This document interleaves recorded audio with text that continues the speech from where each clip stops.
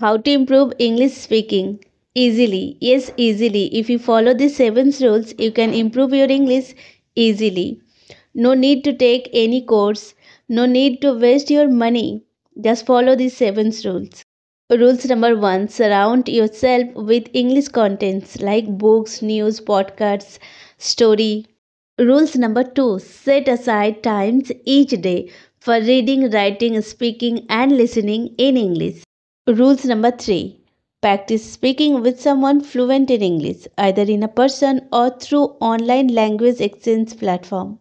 Rules number four write down new words and review them regularly. Watch English videos with subtitle. This help improve listening skill while also reinforcing vocabulary and grammar. Rules number 5 Practice pronunciation fluency by reading text out loud. Rules number 6 Join English language community.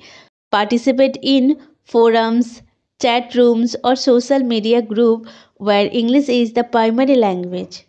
And the last but not the least, rules number 7 Be patient and persistent. Learning a language takes time, so stay motivated and consistent in your efforts.